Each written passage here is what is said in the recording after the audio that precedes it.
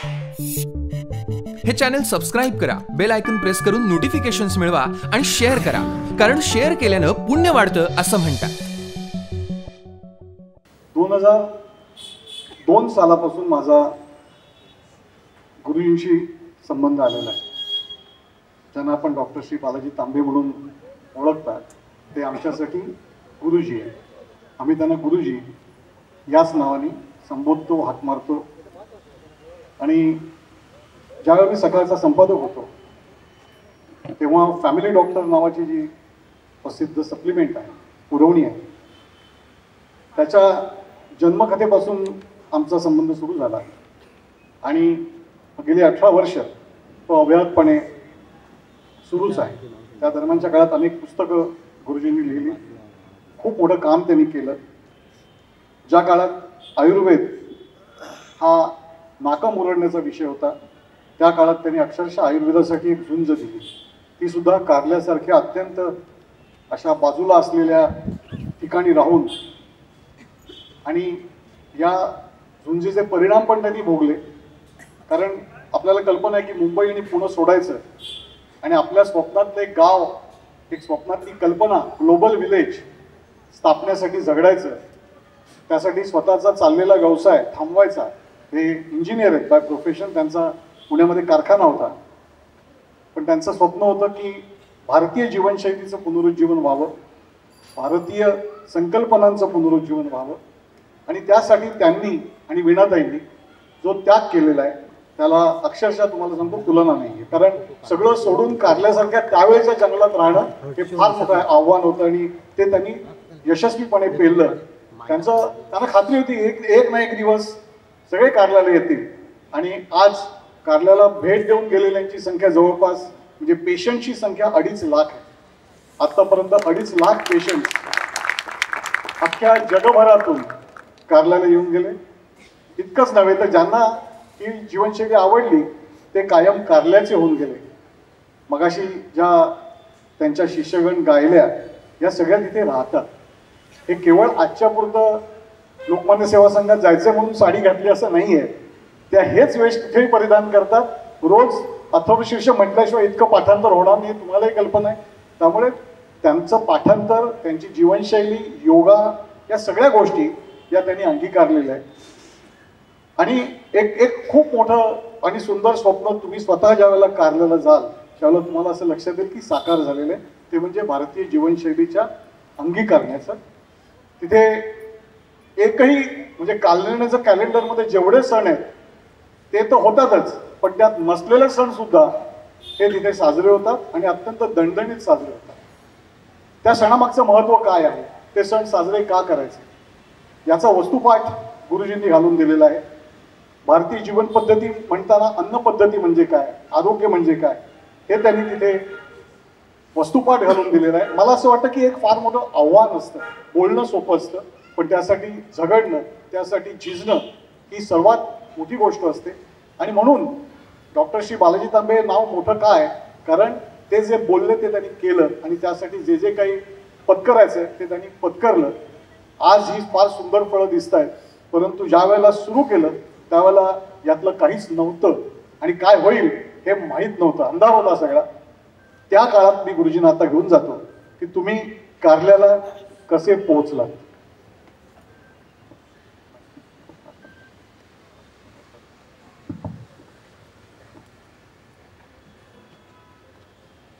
ज्यावेळेस पुण्यात मी राहत असे त्यावेळेला जी मंडळी माझ्याकडे येत असत एक छोटंसं ध्यानग्रह केलं होतं आणि शिकणारी मंडळी आयुर्वेदासाठी येत असत.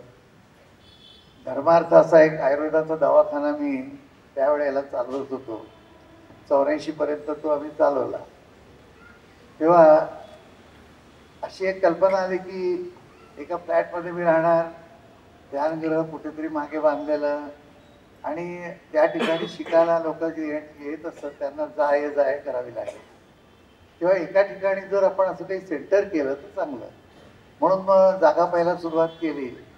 परंतु त्यावेळेला खिशात काही नसतं तेव्हा चांगल्या जागाही कोणी दाखवत आणि अशा तऱ्हेने फिरता फिरता दरवर्षी मात्र वर्षातून दोन वेळा एम टी डी सी जी आहे कारल्याची गव्हर्नमेंटची त्या ठिकाणी मी शिबिर घेत असे.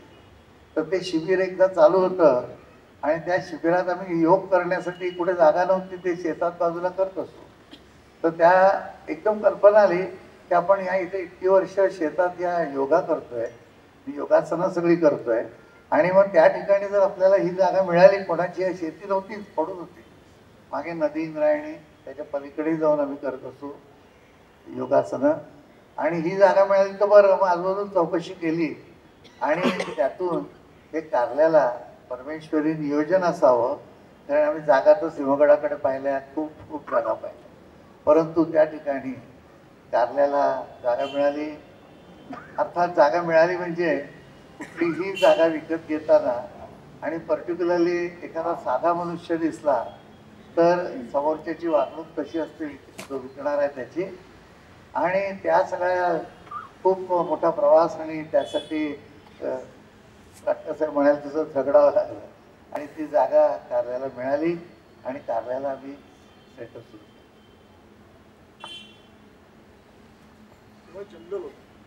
कारल्याला तेव्हा जंगल होतं. आजूबाजूला काही नव्हतं. विणाताई साक्षी आहेत. तो काळ कसा होता? कारण आज तिकडे वस्ती आहे. पण हे एका जंगलात जाऊन राहायचं आणि लोक येतील या अपेक्षेने आपण काम करायचं ते कसं काय तुम्ही म्हणजे काय त्या त्या टप्प्यांवरचं जरा सांगा. नाही एकांत हवा होता. माझ्या वडिलांना मी एक पत्र दिलं बडोद्याला की असं असं मी निर्णय घेतला आणि मी कार्याला जागा घेतोय आणि त्या ठिकाणी राहायला जाणार आहे. आणि त्याचा उद्देश एवढाच की आता पुण्यातला कारखानाही बंद करीन बाकीचा व्यवसाय बंद करीन आणि फक्त आयुर्वेद चालू ठेवेन. आयुर्वेद हा कारखाना होण्यापूर्वीपासून चालू होतात आयुर्वेद आणि भारतीय संस्कृती ह्या दोन गोष्टी कायम आमच्याकडे होत्या लहानपणापासून आणि त्या मी आजपर्यंत आपण म्हणतो जसं चोवीस बाय सात तसं three sixty five by all the twenty four hours असं चालू असलेलं कार्य आहे. तर आणि त्या ठिकाणी शांत आहे आणि असा विचार आहे की खरोखरच थोडीशी उपासना जास्त होईल. इथे गावामध्ये जरा छोट्या जागेत काही होत नाही. तर वडिलांनी दोन वेळी पत्र लिहिलं की एवढं लक्षात ठेवावं की इतरांना शांती मिळवून देताना स्वतःची शांती जाणार नाही. आणि हा चांगला मा उपदेश होता. परंतु ते त्या जागेला आणि कार्याला सुटेबल होता. जंगल होतं म्हणून आणि आजूबाजूच्या लोकांना ती जागा जाऊ द्यायची नव्हती म्हणून मेलेले साप टाक कुठे रात्रीची दगड मार असं करायचे. पण मला असं वाटतं की एकदा का श्रद्धा आणि निष्ठा असली की देव तुमच्या पाठीशी असतो. आणि त्यातून कधी कुठल्याही तऱ्हेने कुठलाही मोठा त्रास असा झाला नाही. आणि दिवसेदिवस दिवसेदिवस माणसं एवढी वाढली. आणि त्यातून मग आमच्याकडे काय योजना होती? कोणीतरी दिल्लीचा मेन सेक्रेटरी महाराष्ट्र गव्हर्नमेंटचा सेक्रेटरी कोणीतरी मंत्री हे सगळे यायला लागले. म्हणजे आजूबाजूच्या लोकांना जरा थोडासा दम बसला की आपण जास्त त्रास दिला तर काही गडबड होईल. आणि मग सगळं सरळ झालं. गुरुजी मूळचे बडोद्याचे आहेत. आणि लहानपण त्यांचं संपूर्ण बडोद्यात गेलं. ते उत्तम गुजराती बोलतात उत्तम गुजराती लिहितात. त्यांची गुजराती मराठी मराठी पहिलं घेऊ कारण मराठीमध्ये त्यांनी प्रामुख्याने लिखाण केलंय. मराठी गुजराती हिंदी इंग्लिश आणि जर्मनी अशा पाच भाषांमधून जवळपास चोपन्न पुस्तकं पब्लिश झालेली आहेत आत्तापर्यंत आणि त्यांच्या गर्भसंस्कार या पुस्तकांनी भारतीय पुस्तकांचे सगळे विक्रम मोडलेले आहेत. किती खपलेत ते आतापर्यंत? मला वाटतं सात लाख झाली. सात लाख पुस्तकं गर्भसंस्कारची खपलेली आहेत. गर्भसंस्कार हा गुरुजींचा आवडीचा विषय त्याकडे आपण नंतर येणारच आहोत. पण तत्पूर्वी त्यांचं जे अथकपणे लिहिणं आहे हे मला स्वतःला मी एक लेखक असून चकित करणार आहे. ते जेव्हा रिकामे असतात तेव्हा ते काहीतरी लिहित असतात. त्यांची लिहिण्याची एक शैली आहे. ते लिहितात किंवा ते डिक्टाफोनवरती आपलं लिखाण सगळं बोलतात आणि मग ते लिहिलं जातं. नंतर ते सगळं तपासलं जातं. आजवर गुरुजींनी फॅमिली डॉक्टर हा जो सकाळची पुरवणी आहे त्याचे सातशेचा सातशे अंक हे संपादित केलेले आहेत. त्यांनी त्यातली ओळ आणि ओळ वाचलेली असते. म्हणजे तुम्ही कामाचं अफाट स्वरूप त्यांचं लक्षात घ्या. जर्मनीत जातात तिथे ते लेख लिहितात. त्यांची जर्मन पब्लिकेशननी चार पुस्तकं चार? चार पुस्तकं पब्लिश केलेली आहेत. आणि आता जर्मनीनी त्यांच्या पद्धतीला म्हणजे पंचकर्म पद्धतीला आणि औषधांना मान्यता दिलेली आहे. मी आता पंचकर्माकडे येतो कारण पंचकर्म हा शब्द आपल्या सगळ्यांच्या तोंडपाठ आहे. आयुर्वेद म्हटलं की पंचकर्म. तर तुमच्याकडे तुम्ही पंचकर्माचा विचार कसा केलेला आहे? मला हे अष्टांग आयुर्वेद आणि पंचकर्म या दोन्ही गोष्टी जरा थोड्या समजावून द्या. एक गोष्ट लक्षात घ्यायला पाहिजे आपल्याला की आपली संस्कृती संस्कृती म्हणून जी आपण म्हणतो ती संस्कृती आहे काय? आणि ती कशासाठी आहे? का ही संस्कृती भारतीय संस्कृती चांगली आहे? आणि वैज्ञानिक पायावर उभी आहे ती सगळी. वै- विज्ञानाला कळेल तेव्हा कळेल आणि आता कळू लागलेलं आहे. परंतु ती कशासाठी? तर आपले पुरुषार्थ सिद्ध व्हावा. आणि हे चार जे धर्मार्थ काम मोक्ष आपण धर्म धर्म म्हणत राहतो परंतु धर्म हा तर एक छोटा भाग आहे त्या संस्कृतीचा. त्या धर्म अर्थ काम मोक्ष हे सिद्ध व्हावेत म्हणून आपण संस्कृती पाहतो आणि त्या सर्व याचा प्रत्येकाला जर विचारलं माझा धर्म कुठला? मी लोकांना सांगत असे माझा आयुर्वेद हा धर्म आहे. परंतु आयुर्वेद नव्हे. माझा शारीरिक धर्म माझा स्वभावाचा धर्म माझ्या जीव जो आलेला आहे आतमध्ये त्यांनी जे काही आणले बरोबर तो धर्म हा माझा धर्म. हिंदू धर्म ही एक एकत्र जगण्याची पद्धत आहे परंतु वैयक्तिक धर्म जो आहे तो वैयक म्हणजे प्रत्येक व्यक्तिगणिक असतो. म्हणून सर्व धर्मान परित्यज्य मामेकम शरणम मम असं सांगता आलं ना. आधी त्यावेळेला श्रीकृष्णांच्या वेळेला धर्म असे काही खूप नव्हते तर सर्व कुठले धर्म सोडायचे. तर प्रत्येकाला जो काही स्वतःचा धर्म आहे शरीराचा जीवनाचा तो पाळावा त्यांनी. हा त्याच्यात उद्देश होता. आणि म्हणून काय झालं की तिथून सुरुवात करत असताना आयुर्वेद हे शास्त्र जे तयार झालं त्या शास्त्रामध्ये सर्व गोष्टींचा समावेश झाला. अशी ती आठ अंग आहेत आयुर्वेदाची. आणि त्यामध्ये आपण ध्यानधारणा करतो त्याचे मार्गदर्शन आहे औषधांचं आहे व्यायामाचं आहे जीवन कसं जगावं सर्वात मुख्य म्हणजे अन्नामुळे आपण तयार झालो त्याचं मार्गदर्शन आहे. आणि या ठिकाणी मी एक गोष्ट आपल्याला सांगतो की एवढे प्रयोग चालू आहेत आणि नाना तऱ्हेचे गायडन्स मिळतात खाण्याविषयीचे अन्नाविषयीचे. परंतु एक गोष्ट जी आहे की आपलं अन्न कुठलं हे आपण जर एकदा अभ्यास करून घेतला तर ते अन्न खाल्ल्यानंतर इतर सर्व काय ज्या नियम आहेत ते पाळायची गरजच नाही. आपल्याला मानवणार शरीर आपलं कुठलं अन्न पचवतं आणि त्याचं सप्तधातूत म्हणजे वीर्यापर्यंत रूपांतरण करतं ते एकदा कळलं की आपली प्रकृती उत्तम राहणार. आणि ते आयुर्वेदाने संपूर्ण व्यवस्थित समजवलेलं आहे. अशी जी आयुर्वेदाची आठ अंग आहेत त्यामध्ये आणि आपल्या भारतीय संस्कृतीत आणि सर्व तत्वज्ञानात एक महत्त्वाचा मुद्दा असा की शुद्धी मनाची शुद्धी शरीराची शुद्धी समाजाची शुद्धी आणि शुद्धी कशाची दोन गोष्टी असतात. एक ऊर्ध्वगामी जी शक्ती आहे प्रकाशाकडे जाणारी सूक्ष्मत्वाकडे जाणारी आणि दुसरी खाली जाणारी शक्ती अंधाराकडे आणि त्यांना असतो जमिनीचा लोभ त्यांना असतो वस्तुजाताचा लोभ. तर ह्या प्रकारच्या या दोन संकल्पना आहेत. त्या संकल्पनामध्ये संघर्ष असतो आणि त्या संघर्षामध्ये वरचा जो स- आपला प्रवास आहे वरचा म्हणजे मेल्यानंतरचा नव्हे तर उत्क्रांतीचा जो काही भाग आहे तर त्या भागाला चांगलं असं म्हटलेलं आहे. आणि त्यासाठी म्हणून सर्व शास्त्र जी उत्पन्न केली.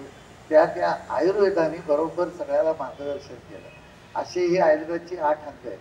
त्यामुळे आयुर्वेद घेतला आणि शुद्धीची कल्पना काय? जेवढं शुद्ध होईल जाईल तेवढं सूक्ष्मत्व होत जातं तेव्हा सूक्ष्म सूक्ष्म सूक्ष्म होत जाणं ही कल्पना आहे आपल्या धर्माची आपल्या संस्कृतीची आयुर्वेदाची. आम्ही औषधं करतो म्हणजे काय करतो? की वस्तूमधला जो वाईट भाग आहे जो जडद्रव्य आहे ते काढून टाकतो.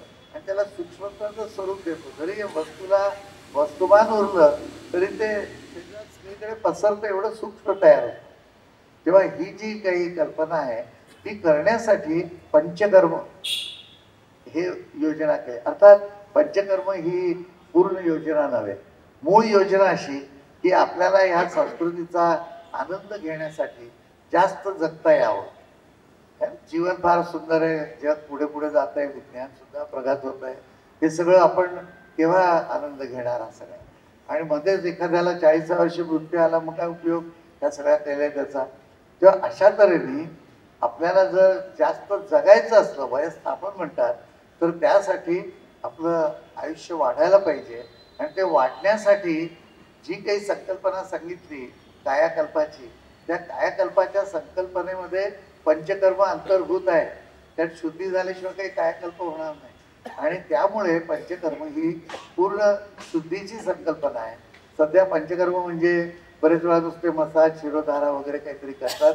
असं नव्हे. आपल्या प्रत्येक पेशीची शुद्धी हे पंचकर्माचं कर्तव्य आहे. आणि त्या पंचकर्मातून तुम्ही जर बरोबरीने योग केला तर शरीराचा जो अग्नी आहे त्याची शुद्धी होते. तुम्ही संगीत घेतलं तर मनाची शुद्धी होते.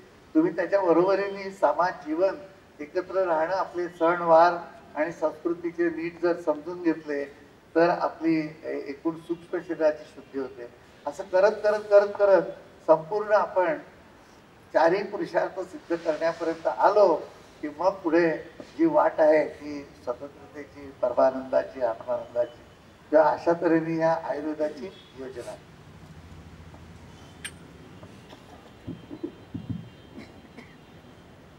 आयुर्वेदाबद्दल आत्ता आपण जाणून घेतोच आहोत. मला अजूनही काही गोष्टींबद्दल कुतूहल आहे आणि त्याच्याबद्दल मला गुरुजींना विचारायला आवडेल. आपण म्हणालात की अन्न आणि शरीर तर आजचं अन्न हे नेमकं घातक कसं होतं? फास्ट फूड असेल किंवा मला फास्ट फूडला नावं ठेवायची नाही आहेत पण ते घातक कशा पद्धतीने ठरू शकतं आपल्या एकूण रचनेच्या दृष्टीने? आणि भारतीय अन्न खाल्ल्यानंतर वेगळा परिणाम असा काय होतो हे कसं असायला पाहिजे? अन्नाचं घटक अन्न घटक किंवा अन्नाचं वैशिष्ट्य कसं असायला पाहिजे? मुंबईत किंवा इथे राहणाऱ्या लोकांच्या दृष्टीने. रोजचं अन्न जे आहे ते स्वतःच्या प्रकृतीला मानवणारं असं साधं अन्न पाहिजे. रोजच जर संध्याकाळी बाहेर जेवलो रोजच जर काहीतरी आपण वेगवेगळी व्यंजनं आणि नवीन नवीन काहीतरी रेसिपीज करत राहिलो तर शरीरामध्ये आपल्या सोय नाही. आपल्या माहितीसाठी सांगतो एक अन्नाचं सांगण्यापूर्वी ती सध्या आपल्या पोटामध्ये पचन संस्थेमध्ये ट्रेट आहेत ट्रेट हा त्यांचा शब्द आहे तिथला संशोधनाचा तर ते जी ट्रेट आहेत ते एखादा ट्रेट त्यातला नष्ट झाला की रोगाला आमंत्रण देत होतो. आणि रोगावरचे इलाज हे यापुढे विष्ठेचा लॅबोरेटरीमध्ये गुण तपासून त्यातले कुठले ट्रेट गेलेले आहेत तेवढे ट्रेट पुन्हा प्रोबायोटिक्स म्हणतात ना तशा तऱ्हेने आपण जे दही लोणी ताक हे सगळं खातो त्याच्यानी खूप शरीरामध्ये पोटात सर्व ट्रेट बांधले जातात. तर ते जे आहेत त्या मार्गाने आपल्याला आरोग्य मिळणार आहे तुम्हाला आश्चर्य वाटेल. पण संशोधन चालू आहे. कर्मधर्म संयोगाने परदेशाशी संबंध आल्यामुळे सध्या आम्ही नुकता एक फ्रँकफुटला असलेली मोठी संस्था आहे फ्रँकफुट इनोव्हेशन सेंटर. जेनोमिक्सवरती काम करतात ते जीन शोधतात आणि त्यांच्याबरोबर आम्ही ॲग्रीमेंट करून दोघांनी एक संशोधन सुरू केलेलं आहे. तेव्हा हा जो अन्नाचा भाग आहे तर ते अन्नात असलेले जीन्स आणि तुमच्या शरीराचे जीन मॅच होतात आहेत का या मॅच होण्यावरती तुम्हाला सगळी ताकद मिळणार आहे. काय आपण खातो ह्याच्यापेक्षा शरीराला काय हवंय याचं खूप महत्त्व आहे. जसं अगदी एका ठिकाणी मी कुठेतरी गेलो आणि त्याला टीप द्यायची होती विमानतळावर. तर खिशात हात घातला तर ते युरोच होते. मी जर्मनी जाऊन आलो पाच युरो होते. ते दिले त्याला. पाहिलं इकडे तिकडे म्हणलं साहेब बाई हे आमच्या कामाचं काही हे काय आहे? मला आमच्या इथले काहीतरी द्या. मी म्हटलं तुझे पाच रुपये हे किंवा दहा रुपये तुला दिले तर हे म्हटलं पाच युरो म्हणजे चारशे रुपये आहेत. तर तुला चांगलं होईल ते. पण तसं आहे शरीराला आपण चांगलं म्हणून काहीतरी दिलं. शरीर म्हणतं हे नाही मला पाहिजे मला हे द्या तर मी पचवी नाही आत्ताच आमचं बोलणं झालं की साखर आणि त्या साखरेला फार विचित्र हे आलेलं आहे. काय म्हणूया आपण? दोष. की पांढरी साखर खायची नाही. पांढरी म्हणजे कंदमुळाची साखर परदेशात करतात. ती पांढरी केलेली असते आणि ती साखर संपूर्ण नडते. आपली उसाची साखर जी आहे ती कधीही नडत नाही. आणि जो साखर खातो जो गोडधोड खातो गुळ खातो साखर खातो पक्वान्न खातो आणि ते पक्वान्न खायचं म्हणजे बरोबर स्निग्धता पाहिजे. तेव्हा तूप वगैरे त्याच्याबरोबर जे खाल्लं जातं त्याचं आयुष्य लांब लांब शंभर वर्ष आरामात जगू शकतो मनुष्य. परंतु कोणीतरी म्हणून मग डायबिटीसला साखर खाऊ का? पण साखर खात राहणं आधी तर डायबिटीस होणार नाही. डायबिटीस होतोय का की तुम्ही साखर थांबवली म्हणून? शरीराची सवय मोडली साखर शरीर विसरून जातं की हे कसं पचवायचं पदार्थ? हा तेव्हा अन्न जे तुम्ही ठरवणार त्याची एकदा खरोखरच माहिती करून घेणं की माझी प्रकृती काय आणि माझ्या प्रकृतीला दोष कसा उत्पन्न होतो तर वाटाणा फार चांगला आहे. आमच्या इथे आम्ही शेतात लावलेले आहेत. आम्ही सगळी बायोलॉजिकल शेती करतो. आजच मला एकाने सकाळी दाखवले दहा बारा हातावर ठरवलं काय येतो एवढे बारीक बारीक? ते पोळे वाटाणे खाल्ले. इतके सुंदर वाटाणे. आता या कोळ्या वाटाण्यांना जोपर्यंत मी खातोय त्याला खत घातलेलं नाही तोपर्यंत माझी नाही आहे. पण जरी वातूळ प्रकृती असली तरी सुद्धा तो वाटाणा नडत नाही. परंतु कुठलंही हे वाटाण्यासारखे पदार्थ आहेत ते वात उत्पन्न करतातच. आता आधीच त्वचा वृक्ष आहे. डोक्यावरचे केस झडतात आहेत. आणि म्हातारपण आहे म्हणजे वाद थोडा वाढलेलाच असतो. किंवा साधे दुखतात आहेत. बरेच वेळा किडकिडीत असतात. म्हणजे तरुणपणी सुद्धा माणसं. ही वाताची लक्षणं आहेत. आणि तुम्ही वा- कडधान्य जास्त खाल्लं तर तुम्हाला घडणारच आहे. किंवा काय खावं हे महत्वाचं आहे. आणि किती खावं हे महत्वाचं आहे. मग बाकी व्यंजनं अधूनमधून करता येतात. एक दिवस सुंदरपैकी काहीतरी आपल्याला मिळाली आता काय डाकोरची भजी आम्ही खाल्ली. फार छान. त्याला काही प्रॉब्लेम नाही येते लगेच न- नियम पाळायची गरज नाही पथ्य पाळायची गरज नाही. किंवा अन्न जे तुम्ही म्हणताय ना आता मध्ये कीटकनाशक घातली आहेत ती आता कमी होतात आहेत. परंतु ते अन्न शिजवल्यानंतर त्याचे परिणाम खूप कमी होतात. परंतु आपण दोन्ही बाजूनी अटॅक करतोय शरीरावर. एका बाजूने आपली इम्युनिटी कमी होते. इम्युनिटी म्हणजे काय? मुळातली ताकद मनगटाची धमक म्हणतात ती कमी होतीये. इम्युनिटी कमी होतीये. आपल्याला लोकांचा आवाज सहन होत नाही. म्हणजे मोठे मोठे आवाज लाऊडस्पीकर लावून करावेत असं मी मुळीच म्हणत मी नाही होतं देवाला ऐकू येतं बारीक कुसकुस सुद्धा. तो उगत ढोल बडवू नका मोठमोठ्याने. परंतु आवाज मोठा असं नव्हे परंतु आपण एक लक्षात घ्यायला पाहिजे की या सर्व याच्यामधनं आपण कशा तऱ्हेने स्वतःला प्लॅन करून घेणार. तर आपल्याला आवाज सहन का नाही होते. माझी मानसिक तयारी कमी झाली. आम्ही ट्रिपला जातो विचारतो तुम्ही दोघं राहाल एका खोलीमध्ये? नाही नाही ह्याच्यावर माल ठेवू मग ह्याच्यावर नाही हात अजिबात नाही. मग हा हा गोरतो. ह्याच्यात दिसतंय काय की तुमची मानसिक अवस्था इतकी मन अगदी कमकुवत झालं की ते काही सहनच करू शकत नाही. बाकी इथे फटाके फोडले. माझं काय झालं मला इथे बोलायचं तरी बोलायला पाहिजे की नाही? हा निर्णय माझा आहे. फटाके फोडण्याचा निर्णय दुसऱ्याचा. आणि फटाक्यांचा स्वभाव आहे आवाज करणं. ते त्यांच्या स्वभावाने वागतात. तर मी माझ्या स्वभावाने वागेन का नाही? फार फार तर जरा आवाजाने मोठा करून बोलीन ना. बिघडतंय काय? तर गंमत अशी आहे की आपण इम्युनिटी कमी करतोय वीर्य नाही आहे आणि रोज पेपरला येत आहे की असं असं गेल्या दहा वर्षापूर्वीच्या दहा टक्के वीर्य कमी होतं ते सध्या सतरा टक्के झालेलं आहे. एकूण मानवतेचं वीर्य कमी होतंय. म्हणजे काय? इम्युनिटी कमी होतीये. मग तुम्हाला पचन पचन नाही चांगलं होते तुमची जागरणं जास्त होतात आहेत. तिकडनं पेस्टिसाईड घातली आहेत. तिकडनं प्रत्येक जण पैसा ओढायसाठी भलतंच काहीतरी काहीतरी उगवण्याचा प्रयत्न करतोय.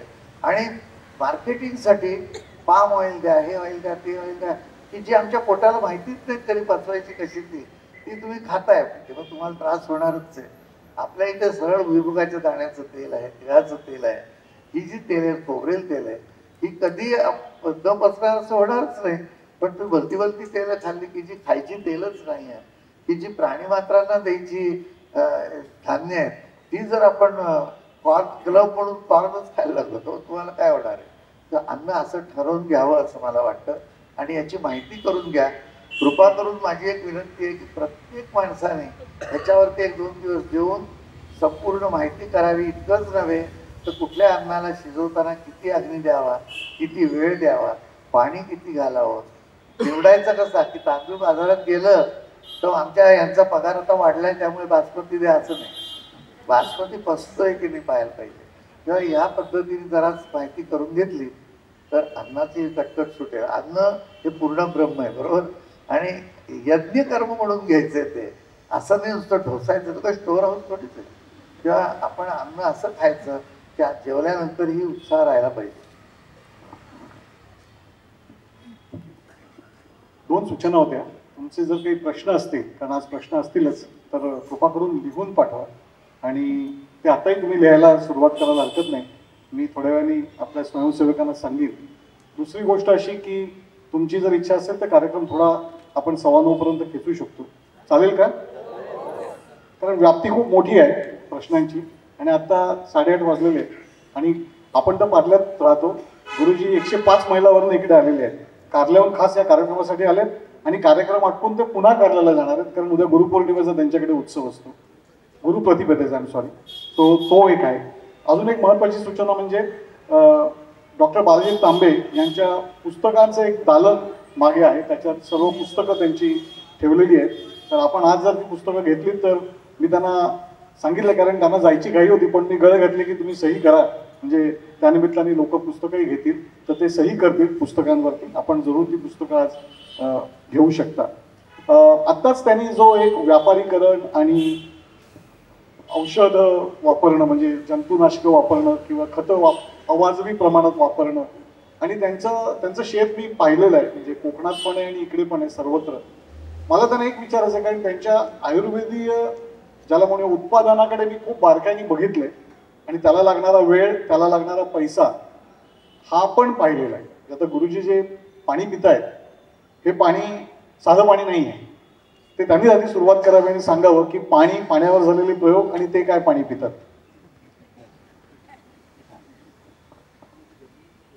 हो, आयुर्वेदाने असं सांगितलेलं आहे की पाणी हे जर सोळा पट कमी केलं म्हणजे सोळा लिटर पाण्याचं एक लिटर केलं तर ते औषधासारखंच काम करतं.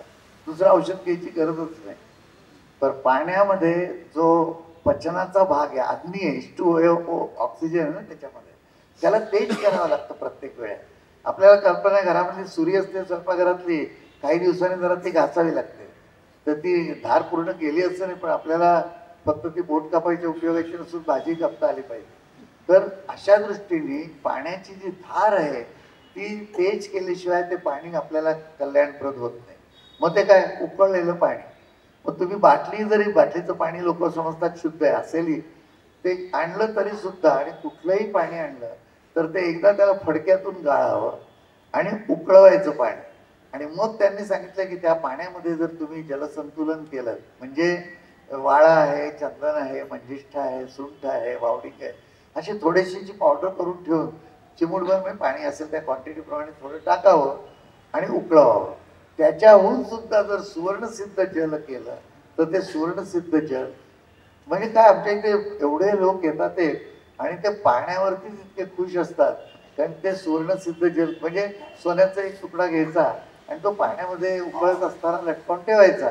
सोनं कमी होत नाही त्यामुळे चिंताकेने बँकेत ठेवल्यासारखं आहे आणि त्याच्यावरती पांढरेपणा येतो म्हणजे आतलं पाण्यातलं कॅल्शियम घडतं त्यामुळे ते इकडे तिकडे कुठे ठेवलं तरी कोणी उचलून येत नाही.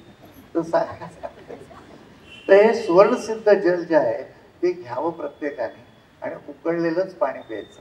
आता इथे शुद्ध पाणी असेल किंवा नसेल आम्ही तर बरोबर स्वतःची पाणी म्हणजे इथून समजा एक दहा दिवसाच्या ट्रिपला गेलो कोकणात किंवा कुठे द- दक्षिणेमध्ये हिमालयात तर आमच्या गाडीमध्ये आधी आम्ही वीस वीस कॅन चढवतो वीस लिटरचे. आणि तिथे गेलं की पुन्हा थोडं गरम करायचं. पाण्याला सूर्यप्रकाश हा सतत दिसला पाहिजे. म्हणून वाहतं पाणी चांगलं सांगितलेलं आहे. पण आपल्याजवळ काय झालंय? सगळ्या टाक्या बंद असतात खाली जमिनीत वरती अंधार. पाण्याला जेवढा अंधारात ठेवू तेवढं त्या पाण्याचा तेज जात राहते आणि ते पाणी जे आहे ते दुष्ट होत जातं. आता याचा पुरावा काय?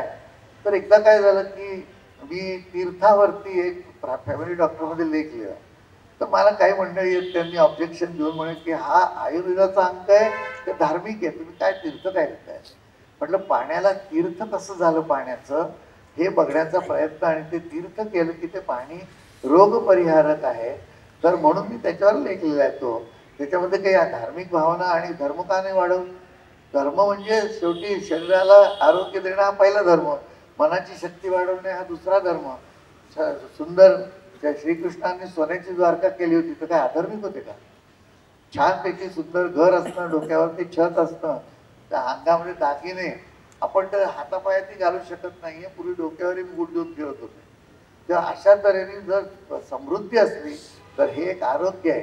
ते आपण धनत्रयोदशीच्या त्रयोदशीच्या दिवशी जी पूजा करतो ना ती इन्फ्रास्ट्रक्चरची करायची असते. ती नोटांची नसते करायची. सांगायचा हेतू काय? की अशा तऱ्हेने सर्व जर धर्माची आपण कल्पना बघितली तर म्हटलं बिघडतंय काय? सोडा. मग म्हटलं की तीर्थ. मग मी सुरू काय केलं? एक त्याच वेळेला जपानमध्ये सायंटिस्ट होता. त्यांनी पाण्याच्या बिंदूचा फोटो काढला. त्याने मायनस बावीस डिग्री सेंटीग्रेडला तो फ्रीज केला. आणि त्याला मायक्रोस्कोप खाली ठेवून त्याचा फोटो काढला. आणि त्याला असं लक्षात आलं की हे डायरेक्टली टाकीत आणलेलं पाणी आहे किंवा डिस्टिल्ड वॉटर आहे. त्याचा फोटो आहे. त्याच्यामध्ये सगळे काळे काळे धब्बे येतात. त्याच्यामध्ये प्रकाश दिसत नाही. मग जर ते पाणी उघड्यावर ठेवलं किंवा त्या पाण्यावर वेगवेगळे संस्कार केले तर त्या पाण्यामध्ये वेगवेगळ्या तऱ्हेची कॉम्पोजिशन्स क्रिस्टल्स तयार होतात. इतकंच नाही तर गर्भवतीने एका बाटलीत पाणी ठेवलं ते आपल्या पोटाशी धरलं आणि ते धरल्यानंतर लगेच त्याला फायलिंग करायचं म्हणजे त्याच्यावर दुसरे संस्कार होऊ नयेत म्हणून. आणि त्यातला बिंदू घेऊन जेव्हा त्याचा फोटो काढला तेव्हा त्या पा जे काही चित्र आलं त्याच्यामध्ये मध्ये असं एक गर्भघर आणि आतमध्ये एक बालक असा असं बिंदू असून त्याला डोकं आहे अशा तऱ्हेचा फोटो आला. हे पाहिलं मी मग नंतर तो ते ग्रस्त कुठे आहेत काय आहेत जरा चौकशी केली माहिती काढली जास्त. मग जरा एकदा त्यांचं प्रवचन प्रत्यक्ष परदेशात होतं. खूप आठशे लोक होते ऐकायला. तर ते ऐकल्यानंतर मी ठरवलं आपण प्रयोग करायचे. आणि मी स्वतः पाण्यावर प्रयोग केले. आणि तुमच्या आश्चर्य वाटेल माझ्याकडे मी एका पाण्याच्या बिंदूमध्ये देवी आणि श्रीकृष्णांची एकत्र चित्र आली. जो जो संस्कार कराल जो मंत्र म्हणाल जे तुम्ही शिव्या द्या ते पाण्याचे क्रिस्टल फुटलेलेच येतील. आणि नाही तर असं सुंदर रांगोळी एखादं चित्र काढल्यासारखा क्रिस्टल येतो जॉमेट्रिकली मस्त डिझाईन तर हे मी आपलं सांगत राहिलो. मला काही एवढा फायनान्स नव्हता. कारण ते प्रत्येक बिंदू म्हणजे आधी पाण्याची बाटली इथनं हे करून पाठवायची. परदेशात मग तो एक बिंदू घेऊन फोटो काढणार मग ते आम्हाला पाठवणार इथे सगळी चित्र वगैरे. आणि त्याचे पैसे तो वाढवायला लागला. त्याला दिसलं की अरे गिराईक मोठं मग ते मी म्हटलं हे मला नाही परवडणार. मग आम्ही इथे प्रयत्न प्रयत्न केला आता माझ्याकडे अर्धी मशिनरी आलेली आहे, पुढे काही गेली नाही. मग मी युनिव्हर्सिटीत जाऊन रिक्वेस्ट केली परदेशामध्ये की अशा तऱ्हेने तुमच्या इथे काही कोणी प्रयोग करा. काही कारण आम्हाला तर काही जमण्यासारखं नाही. आणि त्यापैकी स्टुटगार्ड युनिव्हर्सिटीने दोन सायंटिस्ट तयार झाले. त्यांनी प्रयोग केले. आणि तुम्ही आठ दहा महिन्यापूर्वीचा जर टाइम्स वगैरे वर्तमानपत्र भारतीय पाहिलीत तर त्यामध्ये तुम्हाला दिसेल त्यांनी केलेल्या संशोधनातून हे सिद्ध झालं की पाण्याला आजूबाजूला काय चाललंय कळतं. तिथे अथर्वशीर्ष म्हणताना हा ग्लास ठेवला याचा फोटो वेगळा येणार. आणि इथे दोन माणसं भांडली. एकमेकाच्या आता संसदेचा खुर्च्यावरच्या मारायची. त्या बाटल्यांचे फोटो गेला हरकत तर त्या बाटल्याचं पाण्याचे तर त्या पाण्याला हे कळतं की अशा अशा तऱ्हे आणि असं चुकीच्या संस्काराचं पाणी तुम्ही प्यायलात की तुम्हाला त्रास व्हायला सुरुवात होते. आणि नाहीतर आपली पॉझिटिव्ह थिंकिंग ज्याला म्हणतात सकारात्मक विचार. तो सकारात्मक विचार आपला वाढीला लागतो. असं या पाण्याचं महत्त्व म्हणून आम्ही उकळवून पाणी घेतो. पावसाळ्यात नव्हे तर बारा महिने उकळवलेलं पाणी आणि सुवर्णसिद्ध जल आमच्या सगळ्यांकडे आम्ही तसंच वापरतो आणि ते आणलेलं असतं. म्हणून ते पाणी पितोय. पण माझी रिक्वेस्ट आहे की सुवर्णसिद्ध असतं तर उत्तम आहे. निदान जलसंतुलन सारखी द्रव्य टाकली तरी चालतील. पण नाहीतर आत्तापासून किंवा उद्या चांगली गुरुप्रतिपदेचा मुहूर्त आहे. पाणी उकळवूनच प्यायचं. प्रश्नच नाही आणि ॲल्युमिनियमच्या भांड्यात पाणी नाही ठेवू काचेच्या भांड्यात किंवा स्टीलच्या तांब्याच्या तांब्याच्या भांड्यात पाणी ठेवलं तर ऑक्सिडेशन लगेच होतं. त्यामुळे ते साफ करणारा खूप महत्त्व येतं त्याला. परंतु परदेशामध्ये आणि दोनशे वर्षापूर्वी भारतामध्ये तर चांदी सोन्याचेच वापर करायचे भांड्यांना.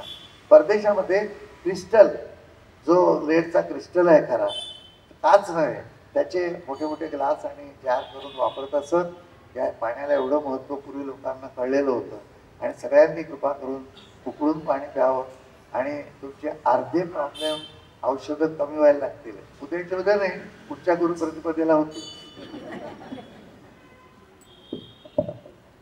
मला अजून एक गोष्ट नेहमी गुरुजींची भावते म्हणेन मी की ते कायम चॅलेंज घेत असतात. म्हणजे खरं म्हणजे असं काही करण्याची गरज नाहीये पण ते कायम एक आव्हान घेतात आणि एक प्रकारे मग त्यांना फिकीर नसतं की यातून काही कॉन्ट्रोवर्सी होणार आहे किंवा यातून काही अपवाद म्हणजे लोकापवाद तयार होईल. ते त्याचा पाठपुरावा करतात. आता उदाहरणार्थ त्यांनी हे जे पाण्याचं म्हटलं समजा तर आता मी स्वतः पत्रकार आहे त्यामुळे ह्याच्यातली लाईन कुठली आहे तर पाण्याच्या थेंबात गणपती दिसतो. अशा पद्धतीची त्याची आपण एक मिसइंटरप्रिटेशन करण्याची शक्यता असते. त्यांचं म्हणणं असं आहे की पाण्याच्या शक्तीमध्ये किंवा पाण्याच्या कॅरेक्टरमध्ये पाण्याच्या कंपोजिशनमध्ये फरक पडू शकतो. आता त्यांनी मला त्याची पुस्तकं दाखवली तेव्हा मला त्याच्यावर विश्वास बसला. पण मला एक त्यांचा ज्याला म्हणूया गुण आहे जे वैशिष्ट्य आहे जे इतर सर्वांमध्ये मला दिसलेलं नाहीये ते म्हणजे ते खऱ्या अर्थाने स्वतःला चॅलेंज करतात आणि एक शोध घेत असतात सतत. हा त्यांचा शोधच त्यांना कार्याला घेऊन गेलेला आहे. त्यांनी कधीही आपण आयुर्वेदाचार्य झालो आता चला बसलं सेटल झालं असं त्यांनी केलं नाही. ज्यावेळेला ते म्हणजे इतकं चांगलं चालू होती प्रॅक्टिस आयुर्वेदाची. त्यावेळेला त्यांनी हळूहळू असा विचार केला की आपण याच्या फिलॉसॉफीकडे जायला पाहिजे. मला आठवत आहे आम्ही त्यावेळेला रामायणाला गीत रामायणाला पन्नास वर्ष झालेली होती. आणि लिहून म्हणजे आणि गीत रामायणावरती काहीतरी करावं. तर त्यांच्या मनात असं आलं की गीत रामायण आणि आपलं पूर्ण ज्याला म्हणूया की शरीर मन आत्मा याची काहीतरी आपण एक सांगड आहे त्याच्यामध्ये. हे रामायण नुसतं रामायण नाही जे आपल्याला दिसतंय. त्या रामायणाच्या पलीकडे एक काहीतरी वेगळा अर्थ आहे रामायणाचा. आणि मग ते बोलायला लागले. ते जेव्हा बोलायला लागले तेव्हा मी सुद्धा थक्क झालो की अशा पद्धतीने एक स्वतःच्या विचाराला मोकळं सोडायला काय हरकत आहे? का वेगळा विचार नाही करायचा माणसाने आणि त्यांनी आयुर्वेदीय दृष्टिकोनातून रामायण लिहिलं. म्हणजे इंटरप्रिटेशन केलं. आणि तेही कशाचं? तर गीत रामायणाचं. गीत रामायणामध्ये मला वाटतं चोपन्न का पंचावन्न बावन्न गाणी आहेत. आणि त्या प्रत्येक गाण्याचं गदिमांनी जे ज्याला लेखन केलं त्या लेखनाचं त्यांनी आयुर्वेदीय दृष्टिकोनातून इंटरप्रिटेशन केलं. तर मला या वेगळ्या प्रयोगाकडे कारण ह्याला धाडस लागतं. याला लोक काय म्हणतील किंवा हे करावं का नाही असा विचार करण्याची जी लोक म्हणजे बाळगतात ते पुढे पाऊल टाकू शकत नाही आणि गुरुजींनी नेमकं तिथे पाऊल पुढे टाकलं. आणि त्यांनी रामायणाचा आणि आयुर्वेदाचा जो एक ज्याला म्हणूया आता असा काही एक समन्वय साधला आणि जोडला तो थक्का करणारा होता. मी त्याबद्दल थोडंसं तुम्हाला बोलायला विनंती करेन की तो प्रयोग आणि तो थॉट कथा या दृष्टीने जर पाहिलं तर आपण काय म्हणतो की चला येत आहे का अमुक सिनेमाला नाटकाला? मी पाहिलाय आहे. कथा एकदा माहिती झाल्यावर किती वेळा पाहिलं तीन तीन कथा.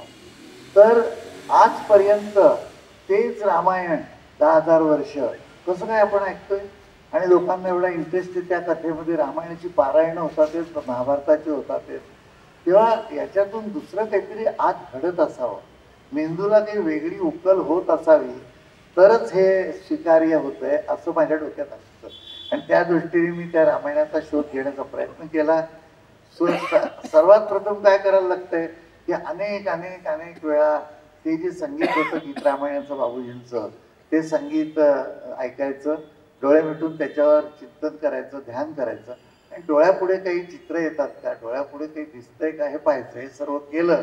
आणि त्यानंतर त्याच्यावरती लिहायला सुरुवात केली. प्रत्येक ठिकाणी काहीतरी बोध व्हायला पाहिजे. सा व्यावहारिक असो आत्मिक असो. तर एक गोष्ट त्यातली बोधाची सांगतो की सीतेला हरण दिसला. आणि रत्ने झळत ती त्याच्या शिंगावरती वगैरे. म्हणजे असं सगळे आहे ना सगळीकडे झमक धमक तर जे पॅकिंगच इतकं भयंकर की आतमध्ये काही नाही ठेवलं तरी चालतं असे प्रॉडक्ट तेव्हा त्या तिला हरिण दिसल्यानंतर तिने रामाला सांगितलं की हा मला पाहिजे. कशासाठी? तर हे तर फार सुंदर आहे आपल्याकडे. ह्या दिवे लावायचीच गरज नाही इलेक्ट्रिसिटी सेव्हिंग त्या रत्नांच्या प्रकाशात आपण राहू. मी बसीन तुम्ही बसाल. मोठ्या गाडीतनं जसं गेलं की आपल्याला बरं वाटतं ना. तसं तुम्ही मग आमच्या सासू सुना त्यांच्याजवळ नसेल तर त्यांना जरा ईर्षा येईल. ते बायकांना आवडते की आपल्याविषयी जरा असं तिकडे वा हिच्याकडे तर आहे. तुम्ही कुठे साडी घेतली? ही चुकीचा पत्ता देतात. तेव्हा रिपीट झाली तर मग तुमच्या साडीचं तर अशा तऱ्हेने सगळं केलं आणि रामाला पाठवला बाहेर. राम ही जाणीव आहे. आपल्या शरीरातला जो कॉन्शियसनेस म्हणतात ती जाणीव राम आहे. आणि लक्ष्मण आहे ते त्याचं मन आहे. त्यामुळे ते सर्पाचा जो शेष होता त्याने त्या लक्ष्मणाचा अवतार घेतला होता. दोन्ही असतं त्या शेषामध्ये. प्रोटेक्टिव्ह असतं आणि विष पण असतं. तर अशा तऱ्हेने आणि सीता हे शरीर ती पुन्हा भूमिकन्या होती भूमीतच विसर्जित झाली. तेव्हा याच्यामध्ये मी लक्षात घेतलं की अरे सध्या हेच चालू आहे. प्रत्येक बाई आपला फ्लॅट असायला पाहिजे. चांगलं सहा खोल्यांचं घर चार बेडरूम आहेत सासू सासरे आहेत घरात सुंदर घर आहे नाही आपला फ्लॅट असावा. ते दोन बेडरूमच्या फ्लॅटमध्ये राहायला जातील पण तोडतील वेगळं जाऊन राहतात चढवलं झालं गेले मग म्हणा आपल्याला एक गाडी पाहिजे. मग गाडी मग मर्सिडीज पाहिजे मग मर्सिडीज अशा तऱ्हेने नवऱ्याला रात्रंदिवस कामावर लावायचं. आता सध्या त्याही करतात. त्याही जातात म्हणजे रामाला जसं बाहेर पाठवलं तसं त्याला कामावर एकदा झुंपलं की आयुष्यातला सगळा आनंदच संपला. थकून भागून आणि जेवढे एक्झिक्युटिव्ह होतील त्यांना रात्री अकरापर्यंत मिटिंग असतात. उगत ते एक्झिक्युटिव्ह होत आहेत. बरोबर? तर अशा तऱ्हेने हा जो प्रसंग आहे तोच तेव्हाही घडलेला आहे आणि आता घडतोय. त्याच्यात होणारे काय पुढे सीताहरण होणार आहे. बायकांची प्रतिष्ठा जाणार हे तेव्हाच कळलं आपल्याला की अशा तऱ्हेने जर वागणूक आली तर बायकांची प्रतिष्ठा हे जाते. फार काय होऊन राहिले स्त्रियांच्या बाबतीमध्ये? तर हा जो विचार आहे तो त्या गाण्यातनं सांगितलेला आहे की जेव्हा त्या हरिणावर लिहिलेलं गाणं आहे त्याच्यावरती असं प्रत्येक गडव्याला प्रत्येक याच्यामध्ये पेटवी लंका हनुमंत कुठली आहे? अहंकार जो आहे त्या अहंकाराने बांधलेलं हे सगळं शरीर आहे ते प्राणायाम हे हनुमंताचं एक स्वरूप आहे आपल्याकडे. प्राण असतात ते रामाला म्हणजे कॉन्शियसनेसला जोडलेले असतात. हा प्राण काय पदार्थ आहे अजून कोणाला कळलेलं नाही बरं का? प्राण म्हणजे ऑक्सिजन नव्हे प्राण म्हणजे हवा नव्हे. प्राण एक संकल्पना आहे शक्तीची की जी आरूढ होते हवेवरती किंवा ऑक्सिजनवरती आणि ती आपल्या जाणीवेशी जोडलेली असते. तेव्हा तो हनुमान आणि राम यांची जोडी येते सेवा तरतूद त्याची तेव्हा त्यांनी जाळलं म्हणजे काय केलं? की त्याने जेव्हा अहंकाराला घा मारायला सुरुवात केली बऱ्याच वेळा पण नापास झाले की मुलं एकदम आत्महत्येला तयार होतात. किंवा एखाद्याला काहीतरी नोकरी सुटली किंवा काही बँकेची खातं बुडलं पैसे बुडले ते आत्महत्या करायला तयार होतात. कशासाठी? त्याचा परिणाम शरीरावरती येतो. तर त्यांनी काय केलं? की त्यांनी अशा तऱ्हेने लंकेचा म्हणजे रावणाची जी रा ताकद आहे ती अर्धी जी ज्या मायेमध्ये होती म्हणजे ती माया सगळी खलास करून टाकली आधी त्याने. तर हे जे काही अशी त्यातली कथा होती ती सगळी वाढवली. आणि त्या पुस्तकाचं भाग्य असं की अटल बिहारीजी वाजपेयी तेव्हा पंतप्रधान होते. त्यांच्या हस्ते पुण्यात ते आले होते त्या पन्नास वर्षाच्या बाबूजींच्या कार्यक्रमाला. बाबूजी आमच्याकडे यायचे मी त्यांना या गाण्यांच्या गोष्टी सांगायचो त्यांना खूप आवडायच्या कथा सांगत ते गायचे पण त्यांना मध्ये थांबवून चार वेळी माणसाला त्यांच्या गाण्यांनी जास्त सुचवायचं. अशा तऱ्हेने ते गीत रामायण आत्मरामायण त्याला नाव दिलेलं काय विश्व पंचायतच रामायण. तर ते आम्ही पुस्तक तयार केलं की ज्याच्याने आता तुम्ही वाचल्यानंतर प्रत्येक कथा आज सुद्धा कशी घडते आणि म्हणजे आपण त्यातनं काय बोध घ्यावा हे कळावं हा हेतू नाही तेव्हा त्या रामायणाचा उपयोग फक्त एकच सुधारणा आहे की आज सीता आणि राम हे एकत्रच झालेले आहेत. म्हणजे फक्त सीतेला काही वेगळं काढता येणार नाही गुरुजी. म्हणजे महिलांना जेवढं प्रलोभन आहे तेवढंच पुरुषांनाही प्रलोभन आहे. प्रलोभनाच्या बाबतीत नक्कीच समानता आहे. त्यामुळे फक्त स्त्रियांनाच प्रलोभन असतं असं म्हणून आजच्या काळात नाही चालायचं आपल्याला. पुरुषांना सांगता येतं की थांबवा तुमचं आत्ता आधी पुढं. शेवटी स्त्रीची सत्ता मोठी असो. अं, आता पुढच्या प्रश्नाकडे मला यायचं आहे आणि तो प्रश्न आहे आयुर्वेदाबद्दलचा.